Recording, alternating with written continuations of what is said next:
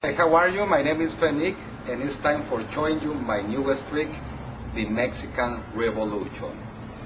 As you can see right here in my hands, we have four jacks.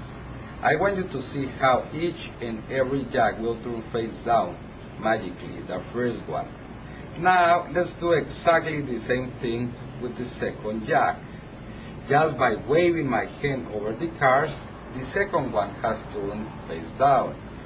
If I wave the third card, the other one turns face down. Now let's do it with the last one. This one just with a little shake, it turns face down. Now, if I turn one of them face up and square the cards and snap my fingers, all of them turns face up.